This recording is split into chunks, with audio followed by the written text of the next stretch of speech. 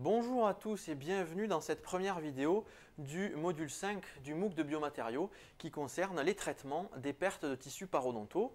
Nous allons dans cette première vidéo d'introduction parler des maladies parodontales et des grands concepts de la régénération parodontale.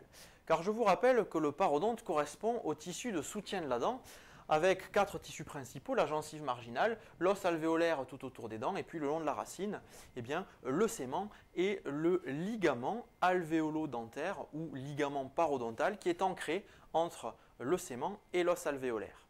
Il existe par ailleurs un espace virtuel tout autour de la dent qui est délimité par la gencive d'un côté et la dent de l'autre côté et qui est appelé le sillon gingivo-dentaire ou sulcus ce sulcus qui revêt euh, une importance capitale dans le développement des pathologies parodontales. Ces pathologies parodontales, ce sont des maladies inflammatoires d'origine infectieuse parce qu'elles sont causées par un facteur étiologique bactérien, un biofilm bactérien qui se dépose dans le sulcus. En premier lieu, on voit apparaître une gingivite, c'est-à-dire une maladie euh, qui n'intéresse que la gencive et qui est une maladie réversible.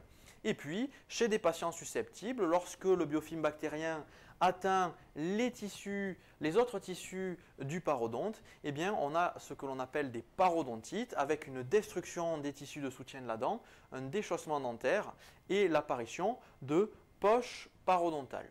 La profondeur de ces poches parodontales est objectivable grâce à un instrument qui s'appelle la sonde parodontale et qui permet d'obtenir un bilan sondage de l'ensemble des profondeurs de poche dans la cavité buccale. L'objectif des traitements parodontaux va être, par différents outils euh, qui marchent avec des ultrasons, eh bien de désorganiser le biofilm bactérien supra et sous-gingival pour rétablir une balance haute bactérie qui soit favorable avec la cicatrisation, c'est-à-dire réduire la charge bactérienne. La cicatrisation parodontale, la plupart du temps, elle prend la forme d'un épithélium long de jonction, c'est-à-dire une simple adhésion épithéliale à la racine de la dent. Malgré tout, cela ne rétablit pas l'architecture tissulaire initiale avec un sément et un desmodonte, c'est-à-dire un ligament alvéolo-dentaire. Pour obtenir une telle régénération, eh les chirurgiens dentistes vont avoir recours à des biomatériaux. Il existe aussi des pathologies parodontales qui ne sont pas inflammatoires et qui vont conduire à des récessions du niveau gingival.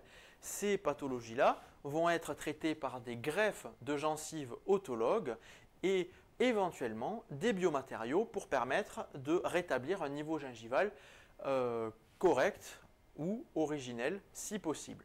Ce sera l'objectif des prochaines vidéos de ce module 5 que de vous présenter les biomatériaux et les techniques qui sont à la disposition des chirurgiens dentistes pour le traitement de ces pertes de tissus parodontaux.